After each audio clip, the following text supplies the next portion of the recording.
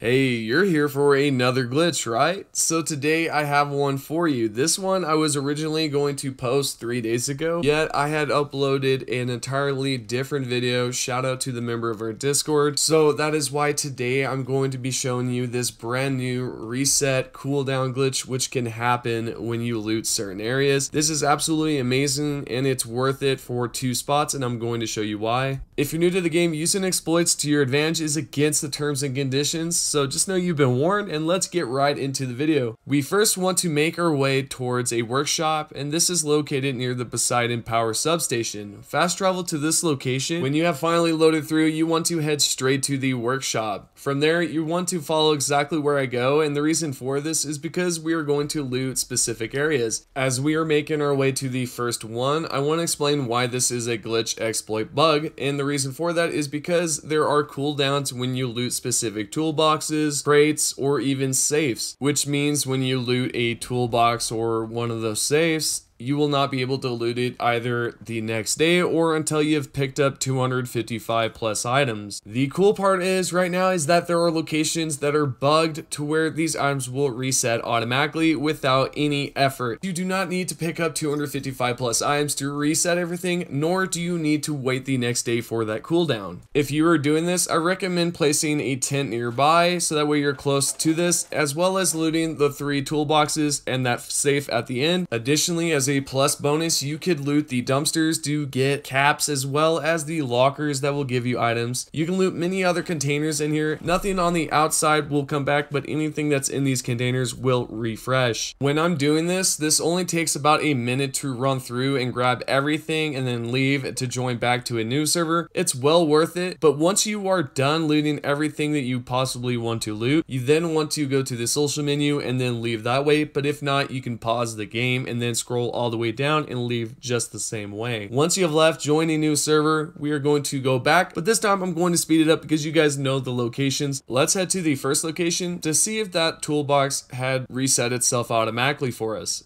What do you know? It definitely did. Let's go to the second one and see what that toolbox has to offer. Okay, cool. Got some items there. Now to the third one.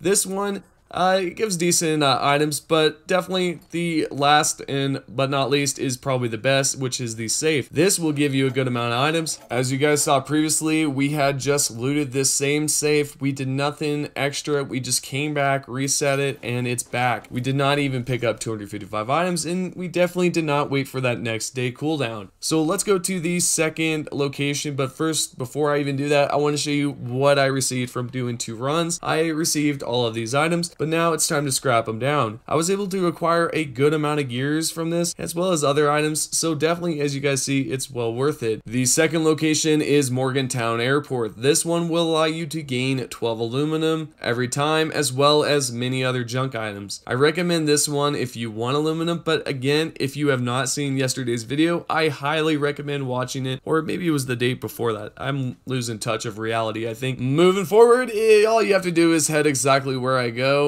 and it's to this first hangar. This will not automatically be unlocked, but if it is, go ahead and grab all the items. But if not, use the auto unlock perk card. That's great. Then from there, head to the next one over, and we are going to loot this crate. From there, you can just instantly server hop. I recommend using a tent uh, just to get close to this area. Then this is me leaving the server. I joined back, and all the items refresh. Literally, that's it. These locations are just bugged right now. These are the only ones that I know of that you can constantly reset just by leaving the server and joining back. If there are more, let me know down below. Hope you guys enjoy the video. Take care of yourselves. Live happy. I'm going to head on out. See you on the next one. Thanks, guys. Peace.